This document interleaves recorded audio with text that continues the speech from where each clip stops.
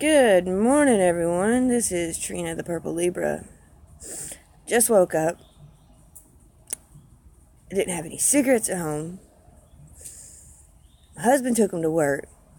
And he works right beside a gas station. He could buy his own cigarettes at work not take mine, make me go to the store. But there's a good, it turned out really good for me today.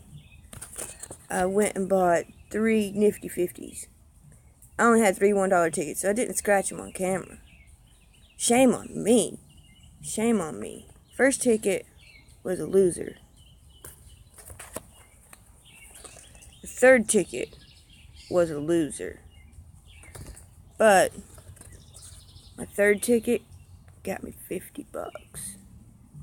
Third ticket got me $50 winner. So that just turned my whole morning around. I'm about to go have to take my sister to her doctor because she's pregnant with their fifth kid. Uh, I don't, let's see, chat. I don't, oh, that was a, somebody did a thumbs up. I thought somebody was trying to talk to me. Alright, you guys, this is going to be a really short video. Um, just happy and excited I got the $50 winner today.